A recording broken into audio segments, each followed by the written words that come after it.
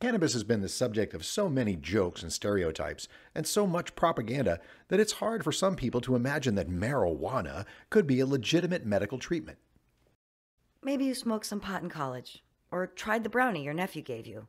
Or you or a loved one may have overused cannabis and can't imagine how it could be medicine. But science tells us that cannabis is indeed just that. It's impossible to understand that cannabis is medicine without knowing something about the endocannabinoid system. Like that it exists, for instance. A quick PubMed search yields over 6,000 research studies on the subject. Problem is, most medical professionals don't study anything about the endocannabinoid system in medical school or continuing education, due in part to the outdated federal policy on cannabis prohibition. Cannabinoids, the chemical compounds in cannabis and other plants as well, interact with many parts of the body. Until the 1990s, we didn't know how exactly.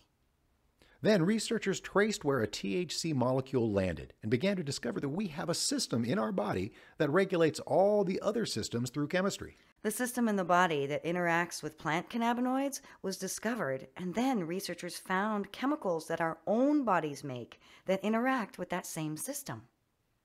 It's called the endocannabinoid system, and the compounds we make in our bodies are called endogenous or endocannabinoids.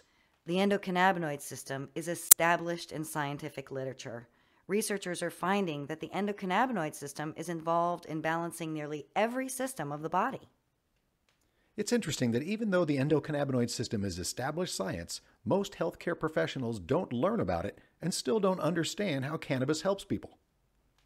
Make sure you ask your doctor if they've studied the endocannabinoid system before you ask them if cannabis medicine is right for you.